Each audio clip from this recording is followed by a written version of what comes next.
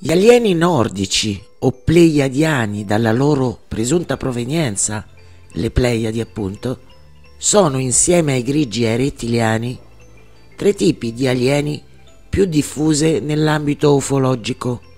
Secondo quelli che sostengono la loro esistenza, vivono spesso mischiati agli esseri umani perché avrebbero forme e caratteristiche umanoidi ed in particolare avrebbero una pelle di un colore che varia dal bianco al rosa molto chiaro. Anche gli occhi sarebbero molto chiari, di color ambra, verde o azzurro e leggermente a mandorla. I capelli sarebbero biondi o addirittura platino. La loro pelle risulterebbe essere molto sensibile ai raggi solari e la loro altezza varierebbe tra il 1,75 m ed il 1,90 m. Alcuni ufologi affermano che in passato queste creature sarebbero state scambiate per entità divine, entrando nell'immaginario collettivo sotto varie forme, fra cui angeli, santi o comunque messaggeri divini. E sempre secondo alcuni ufologi, gli incontri ravvicinati con i nordici avvengono con maggior frequenza rispetto ad altre presunte razze extraterrestri. Ma l'incontro ravvicinato di cui parleremo oggi in questo video è davvero stupefacente, perché oserei dire che più di un incontro ravvicinato si tratta di un incontro ravvicinatissimo. Infatti, un'aliena nordica avrebbe sedotto un terrestre. Ringrazio Liam Dave 87 per avermi richiesto questo video. Scopriamo insieme questa incredibile storia.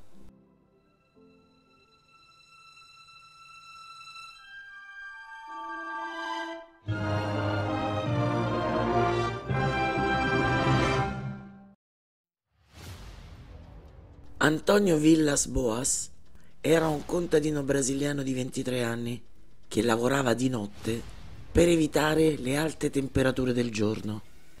Il 16 ottobre 1957 stava arando i campi vicino a San Francisco G. Salis quando vide quella che descrisse come una stella rossa nel cielo notturno. Secondo la sua storia, quella stella si avvicinò e crescendo in dimensioni, Antonio si rese conto che si trattava di una nave aliena, approssimativamente circolare, a forma di uovo, con una luce rossa lampeggiante nella parte anteriore e una cupola rotante in cima. L'imbarcazione aliena iniziò le manovre per un atterraggio nel campo dove si trovava Antonio che a quel punto decise di darsela a gambe. Ma quando il contadino ha tentato di darsi alla fuga, sul suo trattore si rese conto che dopo pochi metri luci e motori si spensero.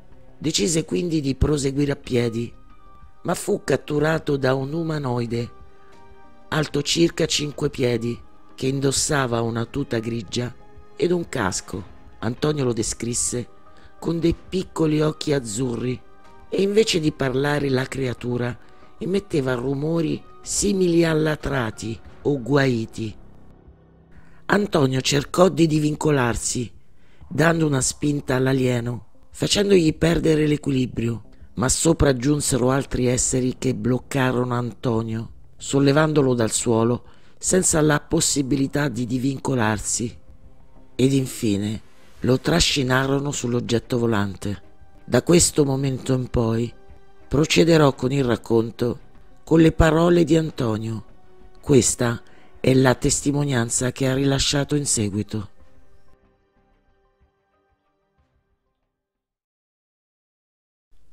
Finalmente mi lasciarono in una piccola stanza quadrata. La luce brillante del soffitto metallico si rifletteva sulle pareti anch'esse di metallo, senza interruzione, senza alcuna ombra. Era una luce emessa dalle molte lampade regolate ed incastonate al soffitto, tutte attorno alla sala. Inizialmente mi hanno lasciato per terra. La porta d'entrata, unita con la scala, si era sollevata e chiusa. L'interno era illuminato come fosse stata la luce del giorno. Ma anche in questa luce brillante non si percepiva dov'era la porta, che dopo che era stata chiusa si era completamente integrata alla parete. Soltanto la scala metallica indicava il posto dove avrebbe dovuto trovarsi. Uno dei cinque esseri presenti ha indicato con la mano una porta aperta e mi ha fatto capire che dovevo seguirlo in quella stanza attigua. Ho obbedito. D'altronde non avevo altra scelta. Continuammo per questa stanza, che è più grande della precedente ed è semi-ovale. Le pareti splendevano come nella stanza precedente. Credo che ci trovavamo nel settore centrale dell'oggetto volante, perché nel mezzo vi era una colonna rotonda, apparentemente massiccia, il cui diametro diminuiva nel suo mezzo. Difficilmente credo questa colonna si trovava là soltanto a titolo d'ornamento. Secondo me supportava il soffitto. I soli mobili esistenti erano una tavola dai disegni strani, ma squisiti, e diverse sedie girevoli. Sembravano le nostre sedie dei banconi da bar. Tutti gli oggetti erano di metallo. La tavola e le sedie avevano un solo piede nel centro ed il tavolo era fermamente fissato alla base e nelle sedie il piede poteva appoggiarsi a tre rafforzamenti orizzontali a scala. Inoltre le sedie si potevano muovere su tutti i lati. Gli esseri parlavano al mio cospetto. Quando dico parlavano, è bene sottolineare che ciò che intendo dire è che non hanno niente a che vedere nemmeno la minima similitudine con i suoni umani, né posso imitare la loro voce o parole. Tra l'altro quei suoni, quei strani versi mi fanno ancora rabbrividire quando penso a loro. Improvvisamente sembravano essere arrivati ad una decisione. Tutti e cinque hanno iniziato a spogliarmi. Mi sono difeso meglio che ho potuto. Ho gridato, mi sono divincolato. Tuttavia hanno continuato a spogliarmi fino a che sono rimasto completamente nudo. Durante tutto questo processo non sono arrivati a ferirmi né a strapparmi una qualunque parte dei miei abiti. In conclusione io ero completamente nudo e con una grande paura, perché non sapevo cosa sarebbe successo in seguito.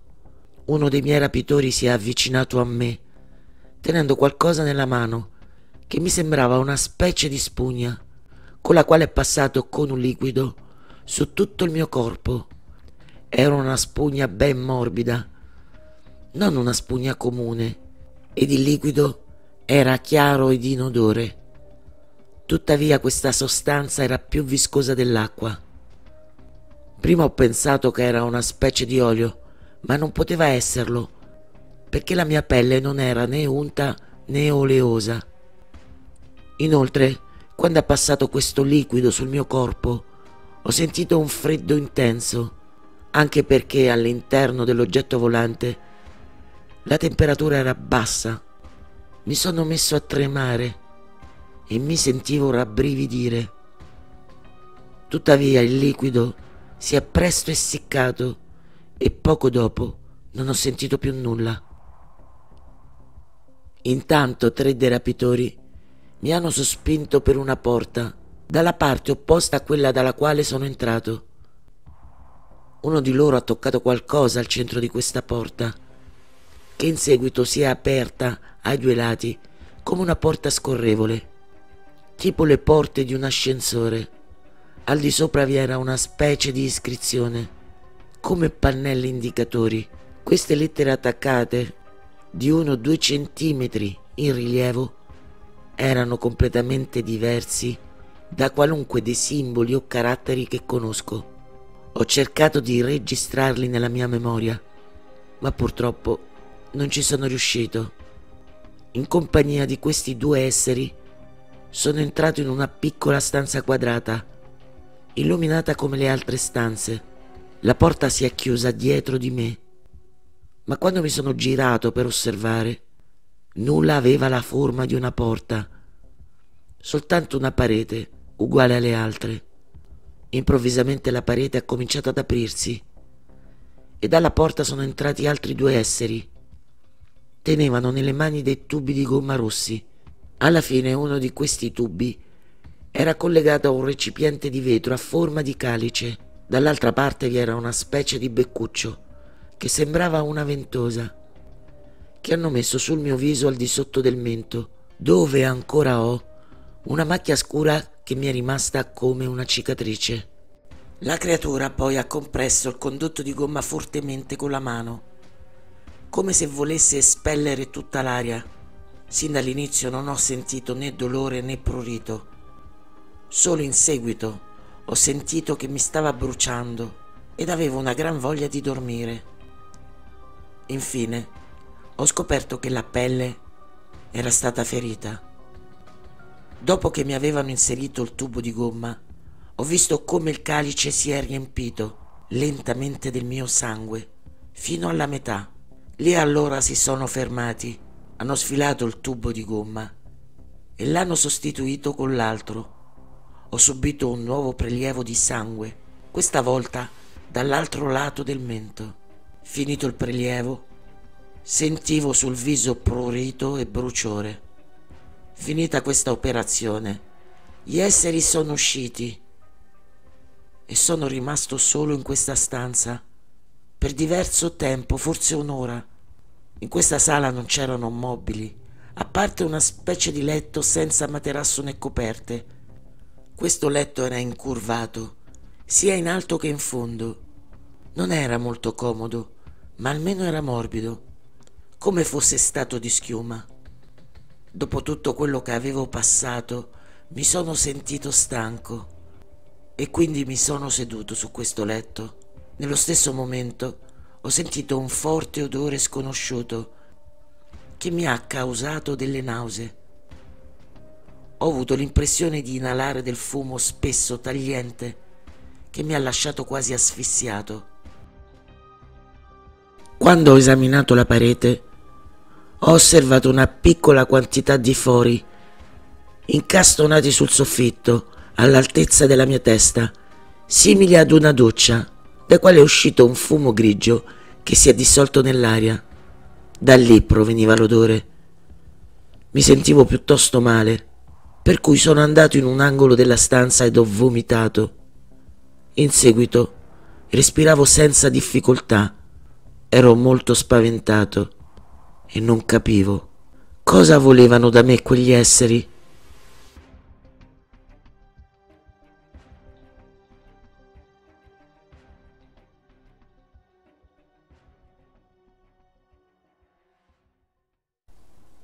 Sembrava passata un'eternità quando il rumore di una porta che si apriva ha interrotto i miei pensieri. Mi sono girato ed ho visto una giovane donna avvicinarsi. Lentamente mi veniva incontro. Era completamente nuda, svestita come me.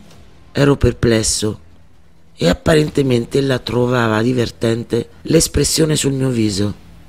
Era molto bella, completamente diversa da altre donne che conosco. I suoi capelli erano morbidi e biondi, quasi del colore del platino, che le scivolavano giù dalla nuca, con la riga in mezzo. Aveva grandi occhi blu a mandorla. Il suo naso era dritto e la forma del suo volto era diversa, con zigomi alti e prominenti e con il mento dalla forma un po' a triangolo. Le sue labbra erano molto sottili, quasi invisibili e le sue orecchie erano esattamente come quelle delle nostre donne terrestri. Aveva il corpo grazioso, come le nostre comuni giovani donne, con seni ben formati, fermi ed alti, i fianchi larghi, le gambe lunghe, i piedi piccoli, le mani sottili e le unghie normali. Era di statura piccola e la sua testa arrivava a malapena alle mie spalle. Questa donna si avvicinò a me in silenzio, mi ha osservato con i suoi grandi occhi ed ha iniziato a sfregare il suo viso sul mio. e premendo il suo corpo contro il mio. Aveva la pelle bianca e le braccia piene di efelidi. Ho sentito l'odore del suo corpo, che era tipicamente femminile. Poi la porta è tornata lentamente a chiudersi. Restato solo con questa giovane donna, non mi ha lasciato dubbi riguardo le sue intenzioni. Ero fortemente eccitato e considerando la situazione nella quale mi trovavo, questo sembra una cosa molto improbabile, ma credo che questo forse sia avvenuto a causa del liquido che mi hanno passato sul corpo. Io so soltanto che non riuscivo più a frenare il mio appetito sessuale e mi sono ritrovato a non pensare più a nulla. Non ho più rifiutato le avance della giovane donna e le sue carezze. È stato un atto normale e si è comportata come qualsiasi altra donna. In seguito mi sembrava stanca e respirava con difficoltà emetteva dei suoni simili a un ringhio e non sapeva baciare, ma mi dava dei morsi leggeri sul mento. Ho trovato comunque molto strano che i peli delle sue ascelle e quelli del pube fossero del colore rosso sangue. Poco dopo che i nostri corpi si erano separati, la porta si è aperta ed uno degli esseri è apparso ed ha chiamato la giovane donna che prima di uscire dalla sala si è girata verso di me, indicando prima il suo ventre con una specie di sorriso e poi ha indicato il cielo. In seguito è uscita. Ho interpretato questo gesto come se volesse dirmi che presto sarei diventato padre e che sarebbe ritornata e che sarei potuto andare a vivere con lei nello spazio. Ancora oggi sono enormemente preoccupato e pieno di paura al solo pensiero che se tornassero e mi rapissero nuovamente sarei definitivamente perso. In nessun modo sono pronto a separarmi dalla mia famiglia ed abbandonare la mia terra. A questo punto l'essere mi ha ridato i miei abiti con cui mi sono rivestito ed ho ritrovato tutti i miei effetti personali tranne il mio accendino, che poteva essere caduto al suolo durante la colluttazione con gli esseri. Siamo tornati nella stanza dove al centro c'era la colonna rotonda, dove tre dei membri dell'equipaggio si trovavano seduti su sedie girevoli, grugnivano tra di loro, credo fosse il loro linguaggio, e quello che era venuto a prendermi ha raggiunto gli altri e mi ha lasciato solo.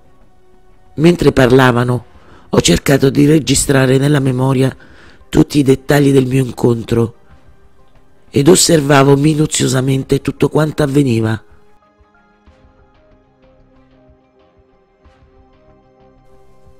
I cinque esseri vestivano una blusa grigia molto aderente e spessa, morbida in alcuni punti, attaccata con cinghie nere. Per coprirsi la testa e il collo utilizzavano un casco dello stesso colore. Questo casco copriva tutta la testa, lasciando aperto soltanto gli occhi che ho potuto distinguere attraverso qualcosa che sembrava un paio di occhiali rotondi. All'altezza dei fianchi ho osservato tre tubi rotondi d'argento. Non so dire se erano di gomma o di metallo. Il tubo centrale scendeva dalla colonna vertebrale a sinistra e a destra scendevano gli altri due tubi, fino a 10 cm al di sotto delle ascelle. Non vi era nessuna depressione o ammasso che indicava un collegamento tra questi tubi e un recipiente o uno strumento nascosto al di sotto della blusa. La blusa non aveva né tasche né bottoni. I pantaloni erano lunghi e attillati e continuavano in una specie di scarpe senza tuttavia vedere dove finiva il pantalone e dove cominciava la scarpa o stivaletto. Le suole delle scarpe avevano da 4 a 7 centimetri di spessore. Erano ben diverse dalle nostre scarpe e leggermente incurvate in cima. Gli esseri si muovevano abili e rapidi. Erano tutti della mia altezza, circa 1,64 m, tranne uno che non arrivava neanche all'altezza del mio mento. Erano fisicamente forti, ma non al punto di averne timore. Credo che in un incontro di lotta su una base uguale non avrei dubbi ad affrontare qualunque di questi esseri. Comunque, alla fine Antonio venne scortato fuori dalla nave e quando tornò a casa scoprì che erano trascorse quattro ore.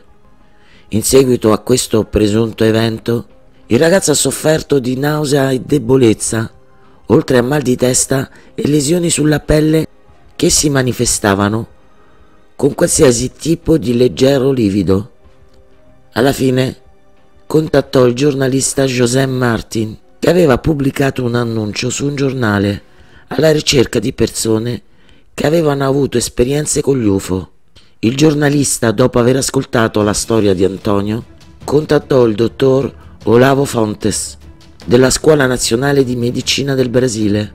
Fontes esaminò Antonio e concluse che era stato esposto a una grande dose di radiazioni. Antonio in seguito divenne avvocato, si sposò ed ebbe quattro figli. Morì nel 1992, ma rimase fedele alla sua storia e quindi al suo presunto rapimento per tutta la vita. Ma come sempre ti chiedo di farmi sapere cosa ne pensi tu, se credi a questa storia, o forse Antonio ha sognato o ha mentito. Fammi sapere cosa ne pensi qui sotto nei commenti e mi raccomando, se vuoi sostenere questo canale, lasciami un like o iscriviti nel caso non fossi iscritto. È gratuito ed io te ne sarei davvero molto grata. In ogni caso, ci vediamo prestissimo se vuoi nel prossimo video.